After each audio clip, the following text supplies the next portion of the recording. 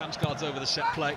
It's a good one as well. It's a brilliant save from Caoimhín Kelleher. How did he get to that? The outstretched hand via the header of Ivan Toney. That is world class.